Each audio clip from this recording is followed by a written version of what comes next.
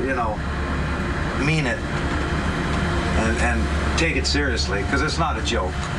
To me, it's not. Well, that's what's left of your past, Matt.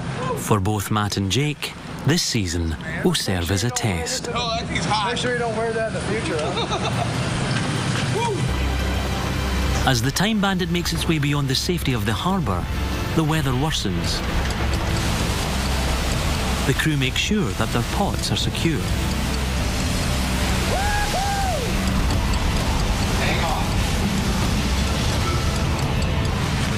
Got some weather coming in. This is the good stuff.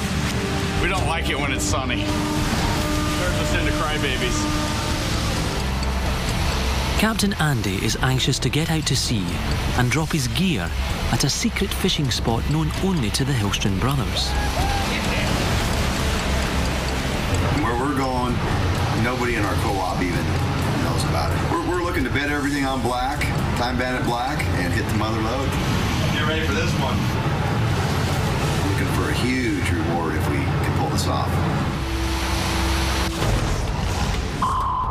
590 kilometres northwest of Dutch Harbour, Captain Keith Colburn left port early to try to get ahead of the rough weather, only to find 5 metre seas and gusting winds at the southern end of the Opilio grounds.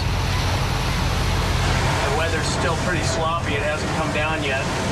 Relatively big seas still out here. The wind's down quite a bit, but that uh, that big low pushed up some some pretty big waves here southwest. So.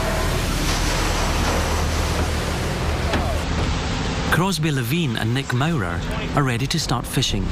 It's their first Opilio season. How much bait do we have? We have enough for 50 bucks. Yeah. This is where the magic happens, if you will.